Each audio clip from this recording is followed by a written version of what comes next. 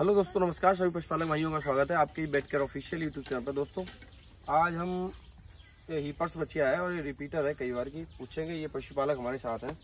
और रिपीटर है और हमारे साथ आशीष भाई हैं कानपुर से। और आज ये डायग्नोस कर रहे हैं कि ये जो रिपीटर है, ये किस वजह से रिपीटर क्या वजह है कि जो रिपीट हो रही है बार बार नॉर्मल ओबरी का साइज़ क्या होता है, पूछेंगे इन्होंने, अभी तक क्या डायग्नोस किया है, हाथ डाले हुए हैं। और जी आशीष भाई, अभी तक आप क्या देख रहे हैं? ओवरी का साइज़ इतना बड़ा है? दोनों ओबरी सेम लग रही हैं? सेम लग रही है। कुछ भी अंतर नहीं है? कुछ भी अंदर समझ नहीं आया अच्छा। तो अब ये कब हीट पे आई? कल। कल हीट पे आई। पानी डाल लिया पानी डाल रही है? हाँ कर कर पानी कब डाला? शाम। तो आशीष भाई ये बताओ इसमें आपको क्या कमी लगी? और कैसे पता करेंगे कि पशु ज्ञापन नहीं रुक रहा? क्या वजह है और कैसे पता करेंगे? या तो इसमें सिस्ट वगैरह है। सिस्ट बना सिस्ट की आपको पहचान है। सिस्ट में जो है ओवरी का साइज़ जो है एक ओवरी बड़ी और एक ओवरी छोटी होती है और जो ओवरी बड़ी होती है उसमें सिस्ट होता है। और आपने अभी एक ओवरी देखी है तो बता रहे को नॉर्मल है दोनों। बाकी मैं एक बार देखूँगा हो सकता है आपने भी डायग्नोस नहीं कर पाया हो। लेकिन उससे पहले हम इसका डिस्चार्ज लेके देख लेते हैं। हो सकता है यूट्रस में थोड़ा बहुत इन्फेक्शन हो। गन पास करो एक बार इसका डिस्चार्ज लेंगे। और डिस्चार्ज लेके फिर देखेंगे इसके अंदर प्रॉपर क्या दिक्कत है। क्योंकि हीट पे पहले कब आई बीच में। कम से कम हो गए दो तीन महीना पहले। दो तीन महीना पहले आई हीट पे? हम्म। फिर तब से अब आई हीट पे? बीच में नहीं आई? आई तो थी बार फ़ोन किया। हाँ बीच में। तो एक बार तुम्हारे पास एक गाय वो रिपीटर थी। हम्म। अरे रिपीटर कई बार हो गई थी ना वो? हाँ कई बार अब ज्ञापन रुक गई है ना? अब कितने महीने ज्ञापन आ गई? छठा महीना लग गया है। हम्म। अच्छा पक्की ज्ञापन है? अच्छा पकड़ी हुई गाय है वो? फ्री में? दोस्तों ये फ्री की गाय है। जो ये पकड़ लेते हैं और इलाज करा देते हैं, रुक जाती हैं। वो पकड़ ली उसकी, ये बछिया, ये हमारे हाथ की बछिया है। और अभी इसमें गन पास करेंगे और गन पास करके इसका डिस्चार्ज लेके देखेंगे कि इसका जो डिस्चार्ज है वो कैसा है। क्योंकि जो पशु बार बार रिपीट करता है, उसके अंदर दो ही समस्या हो सकती हैं। या तो उसके अंदर कहीं ना कहीं कोई सिस्ट है, या फिर उसके अंदर बच्चेदानी में कहीं ना कहीं थोड़ा बहुत इन्फेक्शन है। इन्फेक्शन का कारण पशु ज्ञापन नहीं रुकेगा। शिष्ट रहेगी तो पशु हीट पे नहीं आएगा। और हीट पे आएगा तो कंसीव नहीं करेगा। ऐसी कंडीशन रहती है रिपीटर पशुओं में।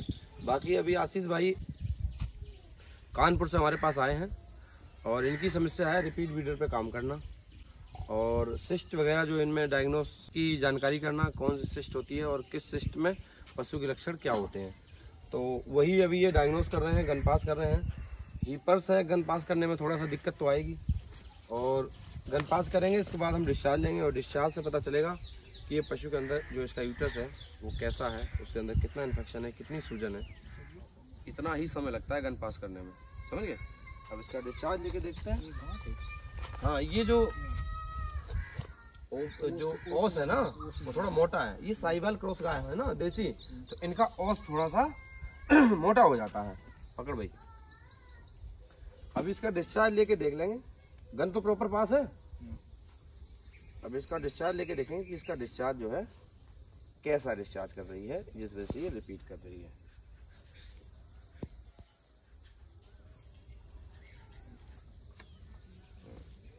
इसके अंदर इन्फेक्शन है। चाहे हल्का ही सही पर इन्फेक्शन है। देखो।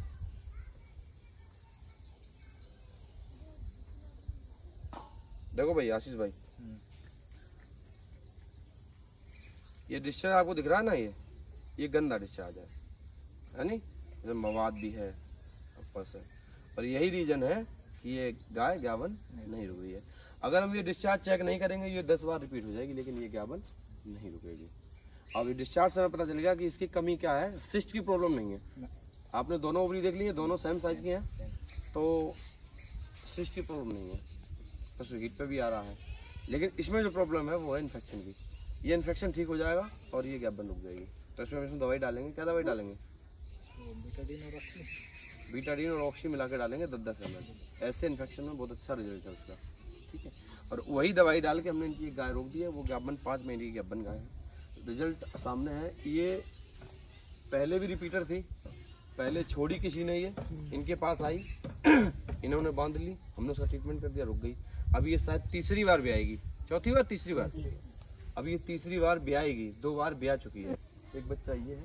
और एक बच्चा ये है। अब ये तीसरी बार ब्याएगी हमारे हाथ से ज्ञापन है। और उसी क्रम में ये भी पशु रिपीटर है। ये बच्चिया भी किसान छोड़ देगा अगर ज्ञापन नहीं रुकेगी। लेकिन हम इसे छोड़ने देंगे हम इसका ट्रीटमेंट करेंगे और अगली बार एक बार में ज्ञापन रोक देंगे। तो हम इसका ट्रीटमेंट करेंगे। इसे निकाल दो निकाल दो इसे निकाल दो पकड़ो। तो ये दवाई हमने ले ली है। तो हम इसमें जो है, लगभग दस से बारह एम हमने ये लिया है। इसके बाद हम मिलाएँगे इसमें ये दवाई। इसको जो है, इसको ये कलर हो गया है। इसको हम थोड़ा सा सेक करेंगे, मिला लेंगे। देखो, ये होती है दवाई का। हम उसे मिलाए हैं तो बिल्कुल ये पीली हो जानी चाहिए। ये कलर जब हो जाएगा दवाई का, इसमें दवाई मिलाने के बाद में ये कलर ठीक है भाई।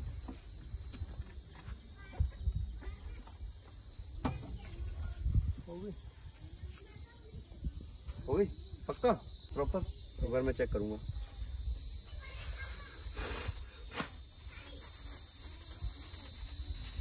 एक बार मैं चेक ज़रूर करूँगा कि ताकि ये पता चल जाए कि बस स्टार्टिंग में ही दिक्कत कर रही थी जहाँ से ओस होता है।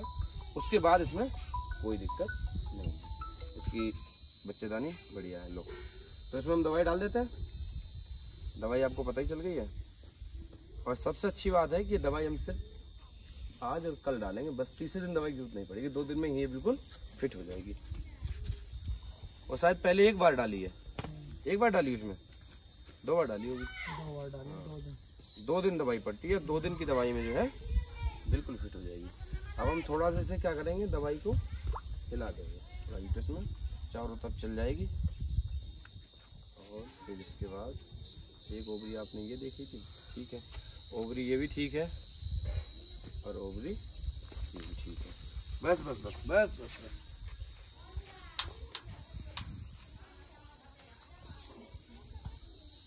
अच्छा ओवरी को चेक करना बहुत ज़रूरी है। अगर ओवरी चेक नहीं कर पाओगे तो फिर दिक्कत होगी। अब इसमें दोनों ओवरी पकड़ में आ गई। कोई दिक्कत नहीं। एकदम इजली दोनों ओवरी ठीक है। तो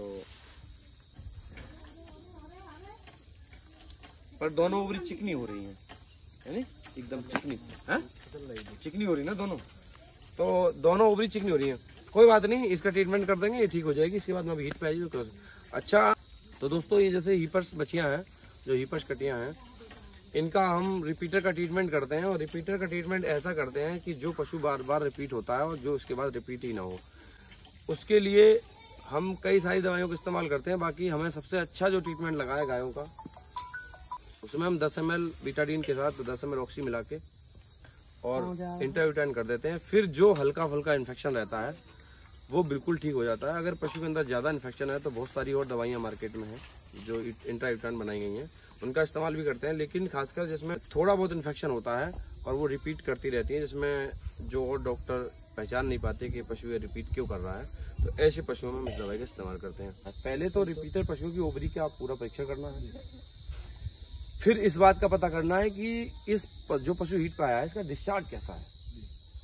और डिस्चार्ज जब ही चेक कर पाओगे, जब गन पास होगी। पहला मुद्दा, गन पास करने का है।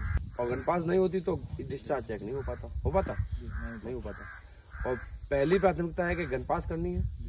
और दूसरा स्टेप है कि उसका डिस्चार्ज लेना है।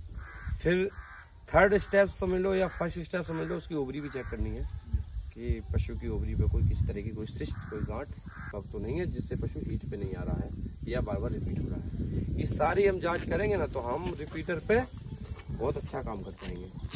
और क्षेत्र में काम जब करते हैं तो ऐसे केस आपको बहुत मिलेंगे। मिलते हैं रिपीटर के? रिपीटर पशुओं की तादाद बढ़ती जा रही है। उसकी वजह यही है कि एक तो हमारे लोगों के पास टाइम नहीं है। हम लोग जाएँगे, सीमेंट डालेंगे और भग जाएँगे। फिर नहीं देखते हम कि पशु के अंदर कमी है, क्या दिक्कत है। एक तो हमारी कमी है, हम लोगों को जो काम करते हैं। दूसरी कमी है कि पशुपालक इस बात का ध्यान देते खान पान में भी ध्यान नहीं देते। श्रेष्ठ का होना एक खान पान की कमी है। पशु के अंदर मिनरल डिफिशेंसी हो जाना सही से समय पर न कराना, ये सारी समस्याएँ जो है रिपीटर पशुओं में देखी गई है। तो दोस्तों, इस तरह से हम रिपीट ब्रीडिंग जो रिपीट ब्रीडर पशु होते हैं, उन पर काम करते हैं। और बेहतर रिज़ल्ट मिलता है और बेहतर आपको हर रोज एक वीडियो देने का प्रयास करते हैं ताकि जो लोग हमारी वीडियो देखते हैं, वीडियो देख के यहाँ यहाँ आके कुछ सीखें। क्योंकि अगर हमें एनिमल हस्बेंड्री में तो हमें बांझपन का और रिपीट ब्रीडिंग पे बहुत खास का ध्यान देना पड़ेगा। तभी हम एनिमल हस्बेंड्री पे काम कर पाएँगे। पशुओं पे रख रखाव या हो पशुपालन, इन पे अच्छे से काम कर पाएँगे। तो ठीक है, आगे बात करेंगे, अगली वीडियो देखते हैं, फिर कोई और किस नया मिलता है। तो दोस्तों, इस तरह से जानकारी वाली वीडियो देखने के लिए चैनल को सब्सक्राइब करें। वीडियो अच्छी लगी, वीडियो को लाइक करें कमेंट करें शेयर करें। साथ ही वेलाइकन प्रेस करें ताकि इस तरह की जानकारी आप तक पहुँचती रहे। बहुत बहुत धन्यवाद। नमस्कार।